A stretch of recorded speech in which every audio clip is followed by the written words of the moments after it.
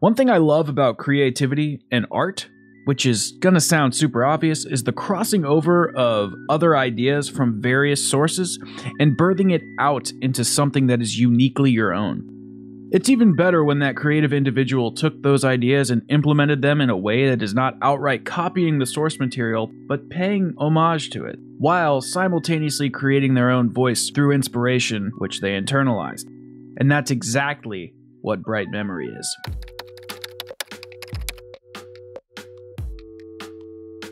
Now, before we discuss Bright Memory, I would please ask that you like and subscribe and comment on this video because as a young channel, I am trying to figure out what exactly this audience that we're creating is. What is our identity as a channel?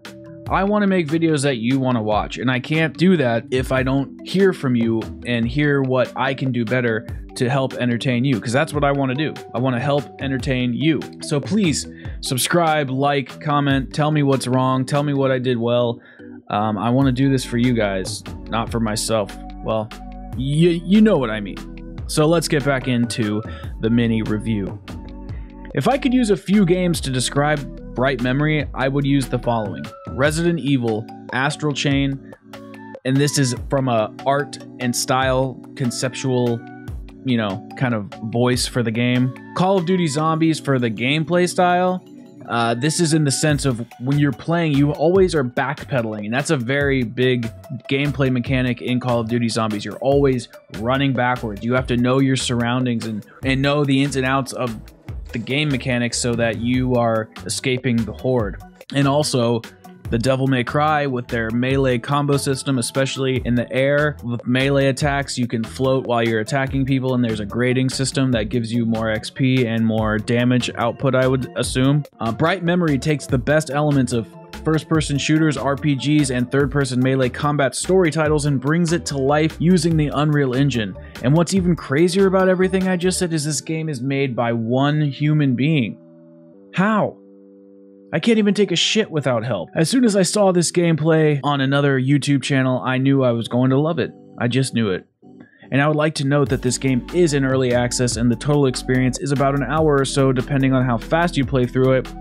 And the only footage I am showing here is the beginning and I guess the, the end. I don't want to ruin your journey of how to get there because I really think you should try this game and try it for yourself. I mean, it's only $6 for about an hour of solid, solid gameplay and playtime. And I'm not going to sit here and tell you that this is the greatest game I've ever played but it was really fun and it felt original and there was action every step of the way. There was not one dull moment, I swear to God. It isn't a game that's trying to get you to play it so that you can grind for 100 hours with no end game in sight. And yeah, there are power ups and things to strive for and upgrade, but the gameplay loop is super satisfying and and honestly there's not much to say about it than that it's up and coming, exciting and made by one person and I want to help promote it if I can. Things like this don't always come by, and it's important to support great things when you see them.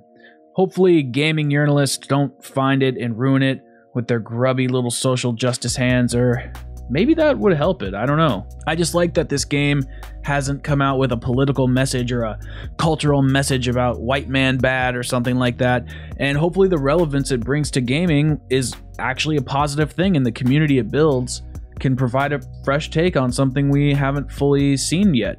Oh, one last thing. This game is, I think, only on PC as of now. I haven't looked for other platforms, but it is on PC. Anyways, that's going to do it for the video today. Thanks for watching. My name is Skeptix, and I'll see you in the next one.